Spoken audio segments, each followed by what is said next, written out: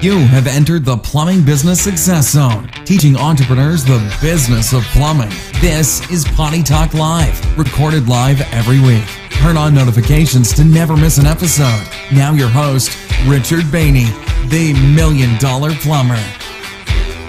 But almost everyone is trying to streamline the business. Whenever something's not talking, when there's a disconnect between, say, the office and the technicians, right? You need to give a job to a new tech and now you got to text or email or somehow get all the information of that job and the equipment details and the history and the pictures and the videos.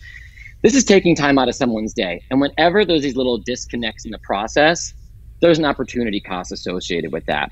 So it's really how everything works seamlessly together.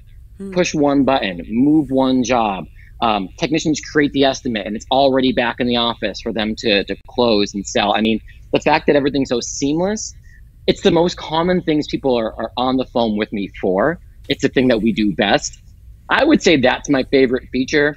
Um, also, kind of on top of that, I love cold hard math, like numbers all day. Right? I love to see revenue go up. I like to see where there's losses. I like to find blind spots. Mm-hmm. Um, I love that. If that's something you like at all, right? You can't manage, you can't measure.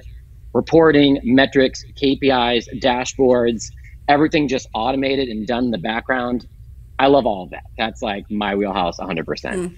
Okay, you like to geek out. I know it probably doesn't get you guys ex- as excited, but when you're using it, it absolutely does. It's like one less thing for you to do.